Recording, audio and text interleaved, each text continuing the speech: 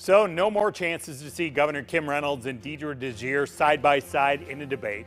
I served as a panelist for that live debate, the one they're going to do between these two on Iowa PBS Monday night. There were no time limits on the answers, so if you were scoring at home, Reynolds talked nearly six minutes longer than DeJear, and she jumped in more often when others were talking.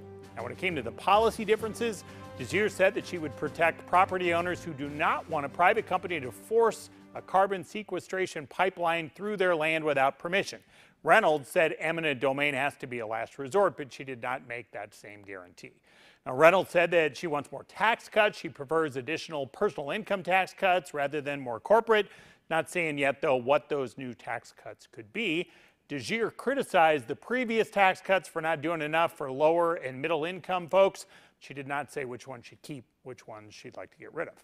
Abortion rights brought the longest exchanges between the two. Reynolds wants the courts to allow the law she signed that would ban most abortions after about six weeks of pregnancy. She would not say whether she would push for more restrictions beyond that fetal heartbeat law.